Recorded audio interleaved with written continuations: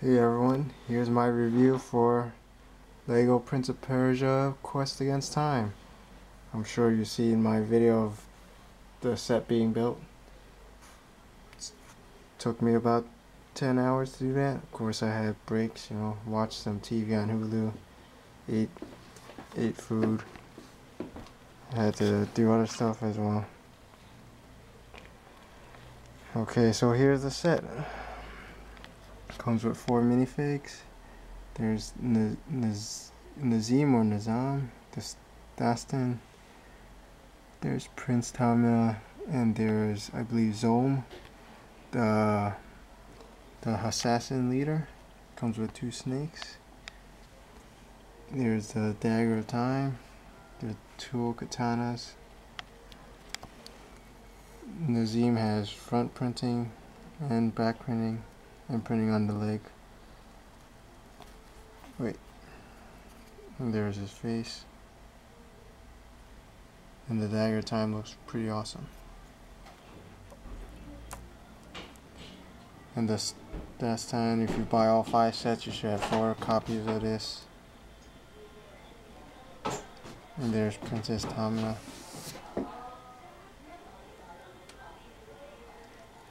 Here's the assassin leader.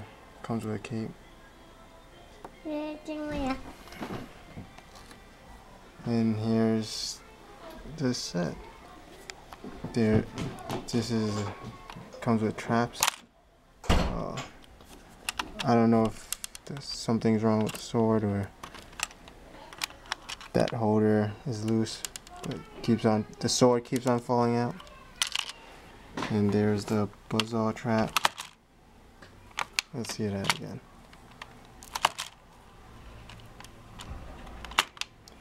And over here, I guess it's supposed to grind someone up.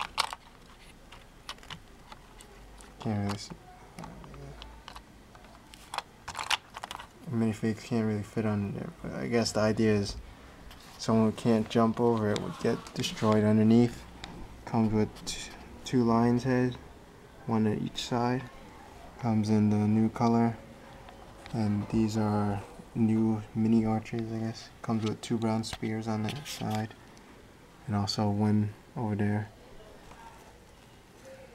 Like if someone falls off bam they get skewered by a spear.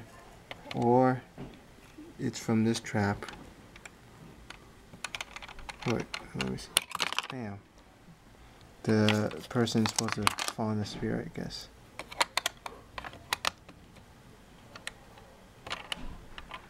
Oops.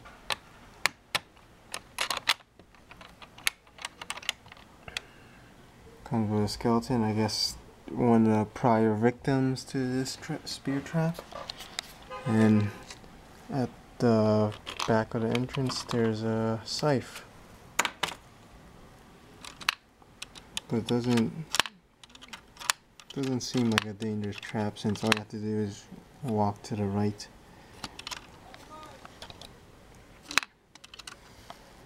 Maybe it's supposed to be longer.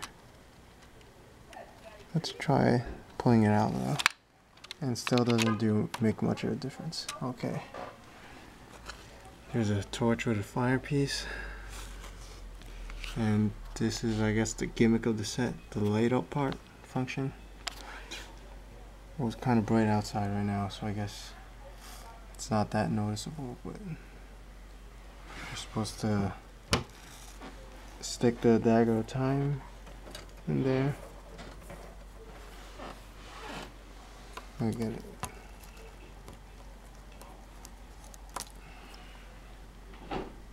You just stick it in and it lights supposed to light up. There you go.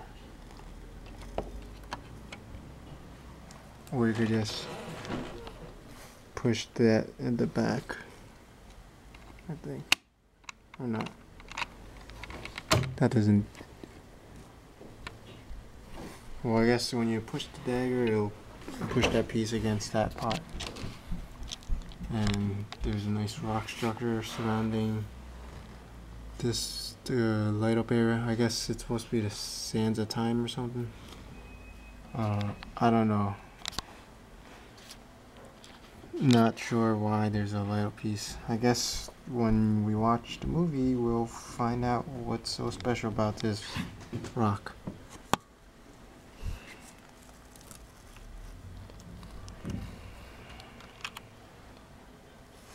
Okay, so there's a nice long pause there without me saying anything.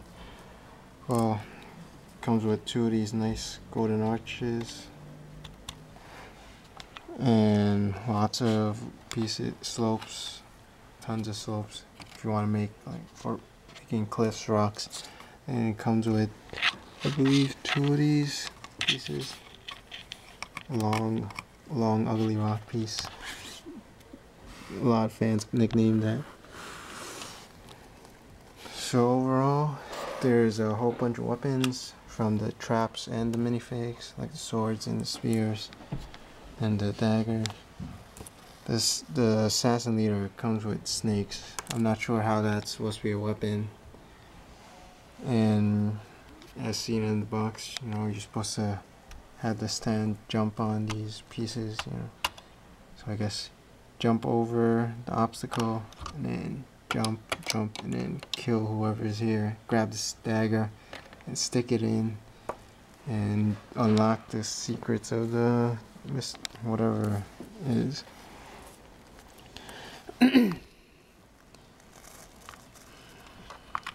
so this set is, uh, I believe, around fifty dollars. Comes with 506 pieces. Per I guess it's okay. I, I was hesitant to buy it at first, but I figured if I'm buying four of the five Prince of Persia sets, I might as well get the fifth one, right?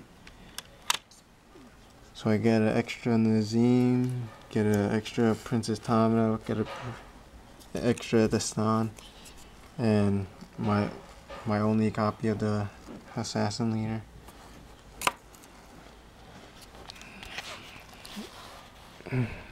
And I guess that's it for now. Until next time, everyone. Okay, I just want to have a short add-on. Here's the light up brick.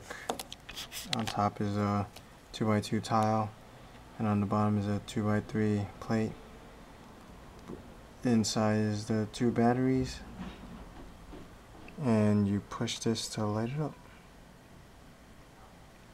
So it takes uh, two of those small batteries, not sure what they're called, but it, it came with this piece. And once you put put it in, you press the button and it doesn't light up. So I guess they put it in there so while the back uh, the pieces move around in the box you're on its way to your house it doesn't you drain all the batteries chances are I'll probably never replace the battery so I'll try to avoid using the light up function. Probably never, because I'm not really a fan of you know gimmicky stuff. And plus, the, the money I could spend on the batteries, you know, could be spent on more Lego. Even though the batteries are probably quite cheap, you know, compared to a Lego set. I mean, here's fifty dollars.